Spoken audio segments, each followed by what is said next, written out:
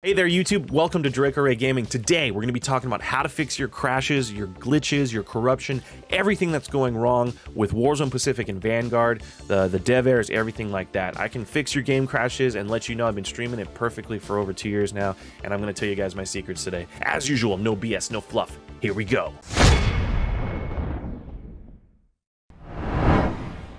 Right, welcome. And first thing we need to really talk about is running the game as admin. We're going to run through some of the basics and then get really down to the secrets and the nitty gritty. So don't go anywhere. Keep watching. I'm here to help you guys. I'm not here to waste your time. Um, so one of the first things you want to make sure you do is when you go into the actual folder where you have the game installed. I happen to have it on my E drive in Call of Duty Vanguard, for instance. Okay, what you actually want to go to do, is the the launcher, the actual exe, the main one that's about 274 megabytes. You want to actually right click on that, go to properties, go to compatibility, and always say run this program as administrator, hit apply, and okay. All right, once you have that done, uh, which you want to make sure, I know, I know, guys, I know, but get your BattleNet, your Windows, and your graphic updates all done. Uh, whether it's an NVIDIA GeForce experience, uh, if BattleNet has a pending update, anything like that, make sure it's all up to date and out of the way. We got to get the basics out of the way, right? So um, some people have even been adding additional command line arguments in the game settings. So that's something that you can do. You can see as I have uh, Dash Direct 3D there uh, in game settings when you right click there in BattleNet. That's something you can try to do as well. Um, another thing after that, if the, no matter what you do, you're still having uh, problems. You've even done the scan and repair here, which is another thing you can try, um, and you're still having issues you're to have to look at um, optimizing probably the, the game file. So how you do that is you actually go to your user folder, your documents user folder.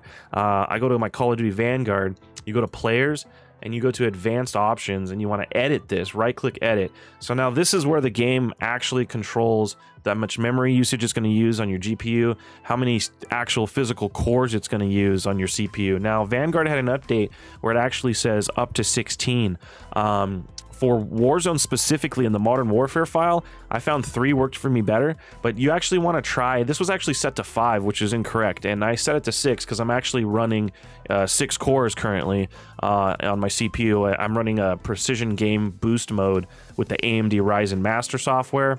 Um, but you don't have to get super technical. All you got to know is how many physical cores you have on your CPU 4, 6, 8, 12 uh, and you want to try to match this number to the exact cores you have because this number is not getting set right all the time and it's causing performance issues within the game. Um, and sometimes I have a feeling that there's a, some kind of issue or memory bleed with this still.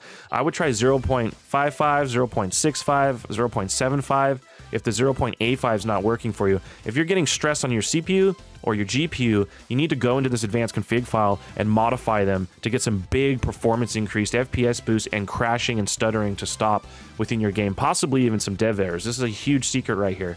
Um, if you've actually absolutely tried this, you've tried everything, um, you're gonna need to actually start from probably scratch. But before you do that, there is another thing you can try in the performance tab. Um, if you go to the details, you can select any one of your applications. Say say my Master Plus software is running very slow, you can actually set the priority and you can actually set which CPUs actually focus on that application and help it run.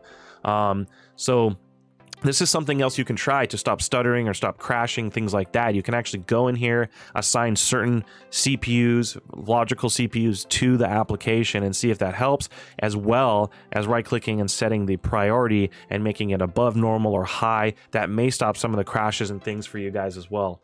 Now, if none of this works, if all of this fails, the one of the last things you can try, which always, always, always fixes it, because they when they update the game, the files are getting corrupted or they're not getting updated properly. And what you can actually do is just start from scratch. Now, you cannot just uninstall the game. The game has tons of cache files located everywhere. I'm going to go through some of them. I'm going to list the total list of cache files down below in the description and comment. Make sure you check down there down below. Throw the video a like. All right, for instance, let's go through like like the Blizzard cache. So you're going to go to your C drive or wherever it's installed, C program data, uh, Blizzard Entertainment, uh, BattleNet, and then you have your cache folder here. So you delete this cache folder. I'm going to delete, I'm going to, you have to delete every single, you have to acid wash the system, delete all the cache folders, get it all out of there. I would even recommend rebooting your system and then reinstalling the game, and I guarantee all your issues will be fixed, especially if you go into the advanced config file in your documents folder for Modern Warfare, which is what Warzone runs off of. So make sure you go to the documents players advanced options here make sure this is all set up correctly. We're under worker count, video memory scale, and you actually go into not only that, but you're going to want to go into your your documents folder and your Vanguard, and then go into players, advanced options, and make sure these are all set correctly as well for this game to uh, utilize the best performance and make sure it's all running well. I know this video is going to help you guys out and get your game running well. I appreciate you so much. Please like, comment, subscribe. I'm Draco, and I'll see you next time.